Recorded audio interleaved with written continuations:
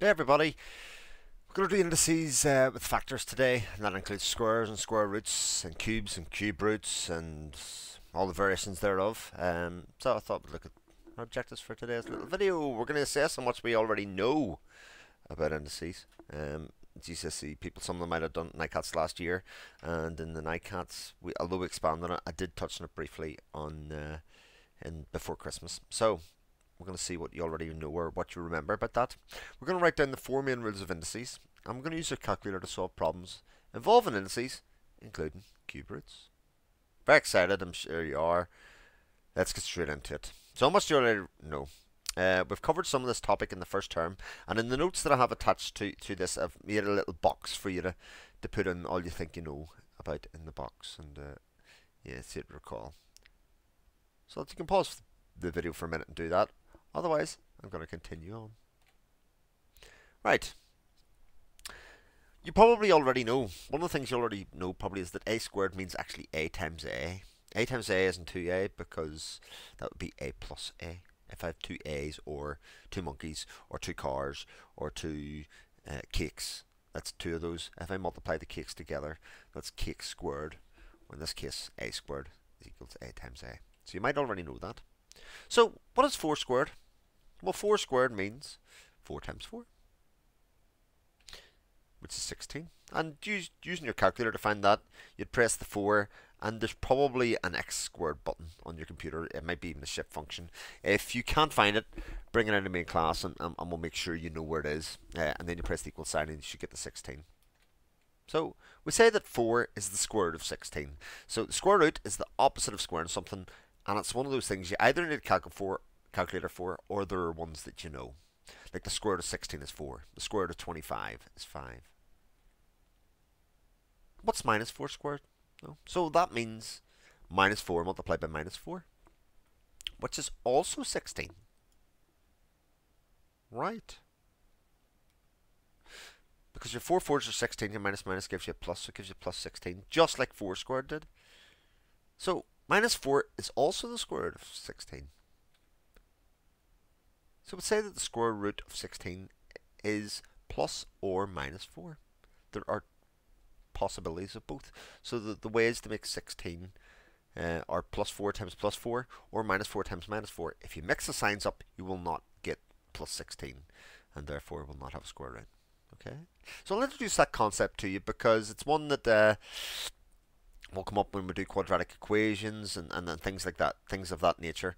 Um, I'm gonna I do the questioning uh, in the class, etc. I will bounce these off you.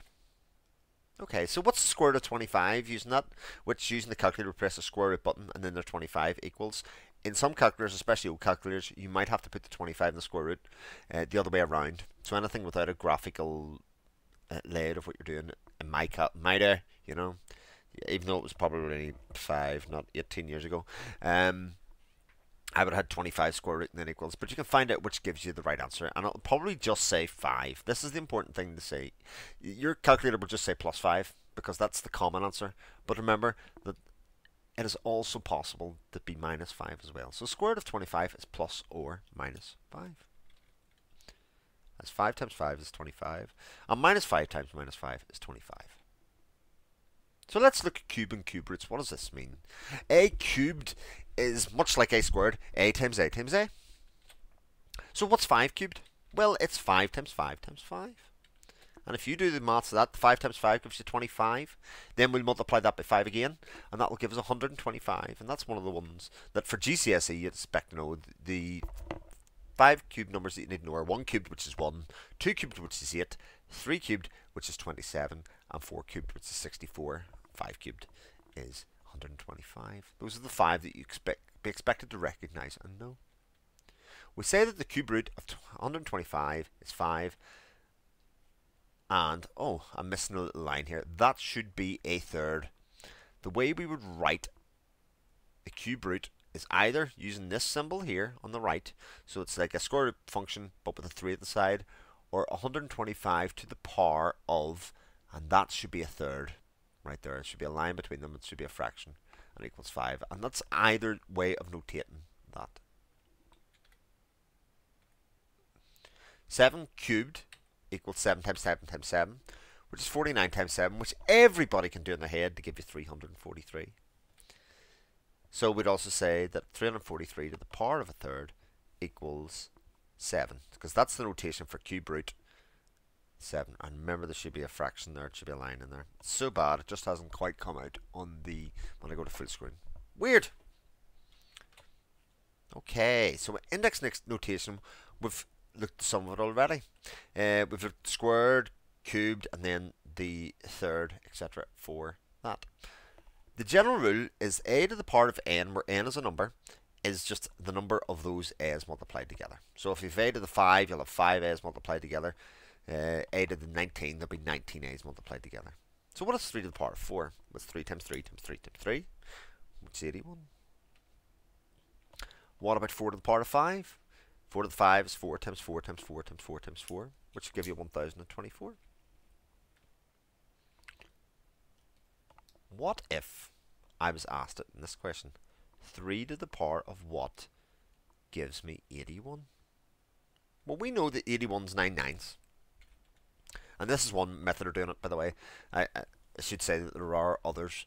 But you can break the number that you know down into its factors.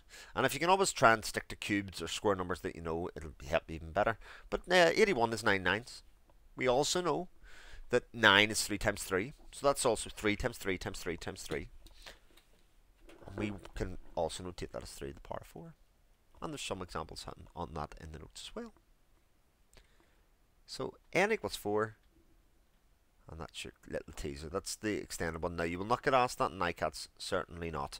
But I'm going to teach it this year, and I'm going to give you some examples on how to do it. Because if I come back to it next year, or you are doing GCSE, especially the higher one, you will get these types of questions, absolutely. Uh, the GCSE ones will, will get more of these, certainly, than, than anybody else. Okay, so it's a little teaser for you. Rules of indices. First one, and again, we looked at this um, last year before Christmas. Uh, a to the power of m times n, a to the n is equal to the a to the m plus n. What does that mean when m and n are integers? Well, it just means if we have two indices of the same number to the power of another number, we just add the indices together. We're going to check this rule. 2 to the 3 times 2 to the 4. Right? If we use the rule, that would be 2 to the 3 plus the 4 which would equal 2 to the 7. We're going to check it another way because we know that it's 128. We know that 2 cubed is 2 times 2 times 2 and 2 to the 4 is 2 times 2 times 2 times 2. I've bracketed it to make it clear which is 8 times 16 but you can actually want if you can count them there 1, 2, 3, 4, 5, 6 and 7. There are 2 to the power of 7 just as before and it still gives us 128. Rule 2. Oops a to the m divided by a to the n is equal to a to the m minus n. Same idea as before. Divided by or in a fraction, because that's all a fraction is, a divide sum. We've got an indice to the same number to the power of something else, we subtract the two indices. So in this case, if 2 to the 4 divided by 2 to the 3, using the rule, that's 2 to the 4 minus 3, which is 2 to the 1, 2 to the power of 1 is also just 2. It's just 2 multiplied by itself. One time. There you go. It's 2. Uh, we can check it. 2 to the 4 is that over that.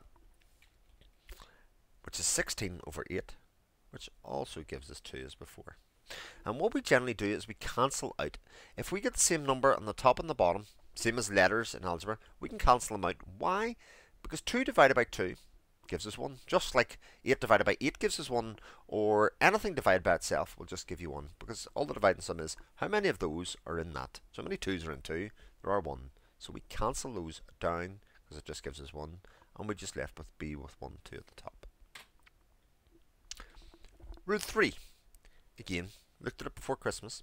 a to the m to the power of n is equal to the a to m n, or m times n two, that notation goes. So we'll verify the rule for 2 squared cubed. Right?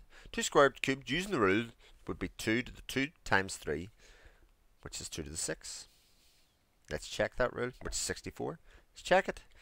2 squared is 4, and 4 cubed would be 4 times 4 times 4. Which still equals 64, just like before. We're all good so far. Rule 4.